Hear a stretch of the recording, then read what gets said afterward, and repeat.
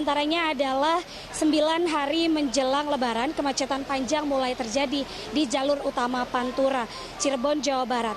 Kepadatan kendaraan terjadi akibat banyaknya pemudik awal yang memanfaatkan libur akhir pekan ini untuk melakukan perjalanan pulang kampung.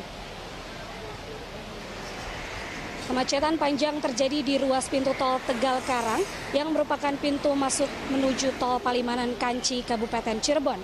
Iring-iringan kendaraan yang didominasi kendaraan pribadi hanya bisa berjalan merayap dengan kecepatan maksimal 10 km per jam.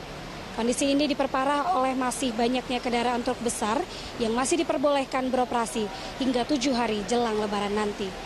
Selain disebabkan oleh meningkatnya volume kendaraan pribadi dari arah Jakarta menuju Jawa Tengah, kemacetan panjang ini juga disebabkan oleh minimnya loket masuk di pintu tol Tegal Karang di mana di gerbang tol Palimanan ini hanya ada dua loket tiket yang berfungsi melayani kendaraan yang akan menuju Jawa Tengah.